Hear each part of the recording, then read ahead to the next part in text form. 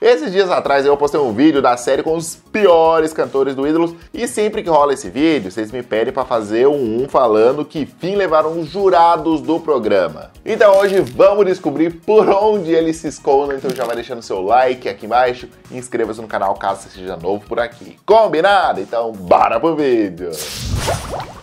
O Thomas Roth já tinha uma longa carreira na música com composições famosas em parceria com dezenas de artistas como Elis Regina e Roupa Nova. Na TV ele ficou conhecido como um jurado exigente e objetivo lá no Ídolos, mas que também era gente boa e apaziguava muita treta no programa pra vida. Eu acho que você podia plantar um pouco de amor no teu coração, cara. Pô, você, chegou aqui batendo, você não vai lugar nenhum batendo nas Deixa pessoas, cara. O Thomas era craque também em comentários capciosos e criativos que confundiam os candidatos. Eu não gostei de nada do que eu ouvi antes de você. Gostei muito de você, meu voto é sim. Com o fim do Ídolos, Thomas recebeu uma proposta para ser jurado em outro programa, o Astros, e na sequência no Qual é o Seu Talento. Ainda no SBT, integrou a bancada do Esse Artista Sou Eu, que acabou sendo um fracasso na audiência. Fora do SBT, ele seguiu fazendo composições e trabalhando como produtor musical. Em 2019, ele foi recontratado pela SBT para trabalhar nos bastidores, ali como diretor musical das novelas da emissora. Atualmente, com 70 anos, Thomas tem um projeto chamado Ouro Velho, um repertório com mais de 50 músicas que ele compôs, misturando sucessos dos anos 80 e canções inéditas. Não me olhe assim desse jeito, meu bem, ninguém é perfeito, nem tem porquê. Arnaldo Sacomani sempre foi considerado um gênio da música. Compôs dezenas de músicas de sucesso e produziu discos de artistas do calibre de Tim Maia, Rita Lee e Os Mutantes. O ídolo estava sempre de mau humor e era tido como um dos maiores carrascos da bancada, e isso quase sempre despertava a ira dos candidatos. Mas junta com humildade fica bem. Tá bom, Ivo? muito longe, desculpa aí fazer Obrigada. feio. Obrigada. Imagina. Não, foi feio. Não, não foi, feio, não, cara. Foi feio, foi horrível. Foi brincadeira. Bota uma peruca, velho. Vai. Que não foi horrível, não. Valeu, querido. Vai com Deus. Vamos se com o fim do Ídolos lá em 2007, Sacomani também foi jurado no Astros e depois no Qual é o Seu Talento. Durante muitos anos, Sacomani foi também jurado de um programa do Ratinho. Muito bem, Arnaldo Sacomani. Pior impossível. um abraço, Thiago. Um abraço.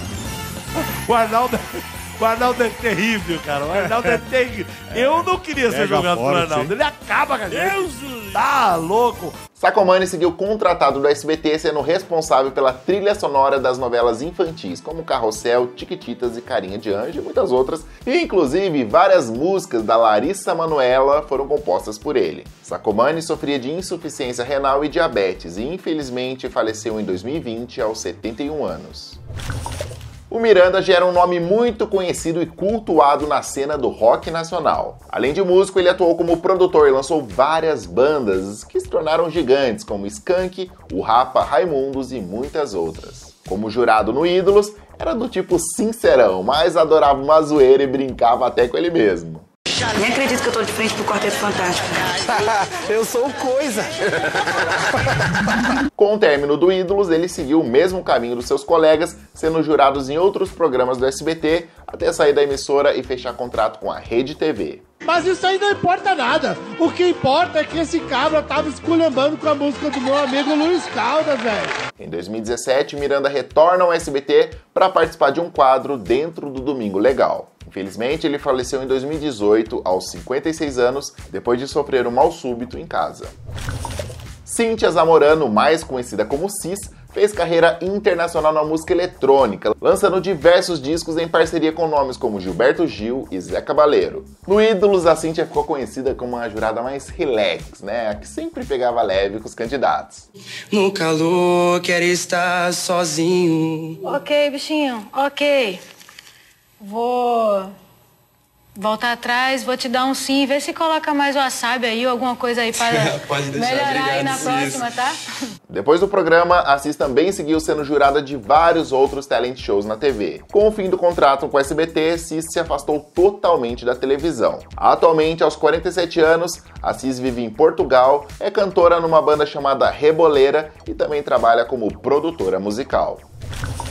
Depois de duas temporadas no SBT, todo o formato do programa Ídolos foi comprado pela Record, mudando todo o time de jurados. A gente agora vai descobrir por onde andam esses jurados, mas aproveita que você já está curtindo o vídeo até aqui e inscreva-se nesse canal, dá essa moral pra gente, vai, inscreve aí, é rapidinho, eu tenho certeza, eu vou fazer de tudo para não decepcionar você se você se inscrever agora, combinado? Então se inscreve aí. Bom, como eu falei, a partir de 2008, o Ídolos passou a ser na Record, com um novo cenário, novos apresentadores e outros jurados. E um deles era o debochado Calainho. Eu amo você. Beleza. Moço, senta, por favor. Moço, senta. Que ai, ai. Que bicho era esse? A cigarra.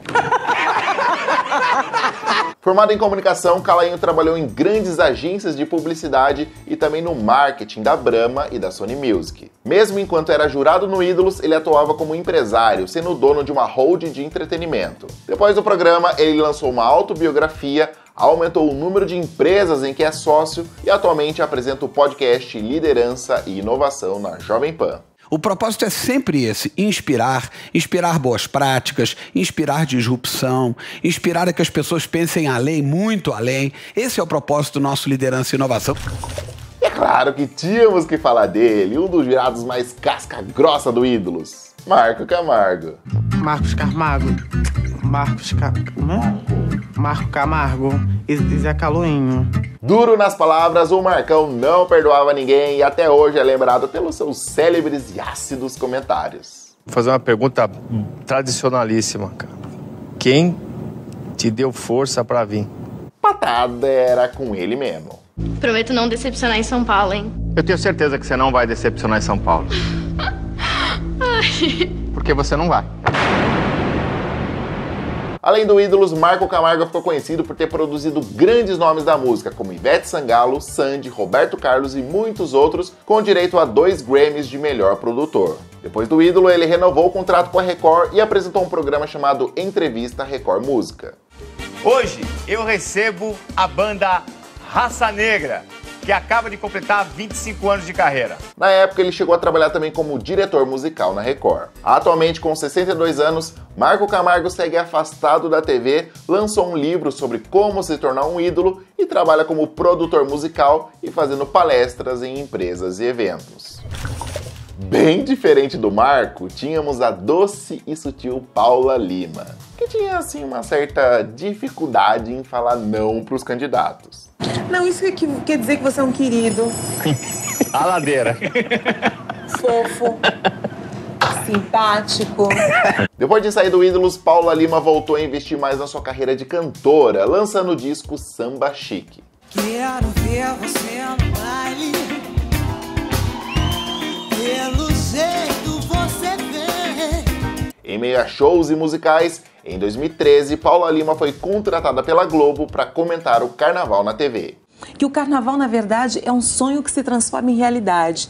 Então acho que eu tenho um pouco disso assim no meu coração, né? Atualmente, com 51 anos, Paula Lima é diretora da UBC, Associação de Gestão Coletiva de Direitos Autorais, é cofundadora da IVNFT e segue firme na carreira de cantora, fazendo shows pelo Brasil afora.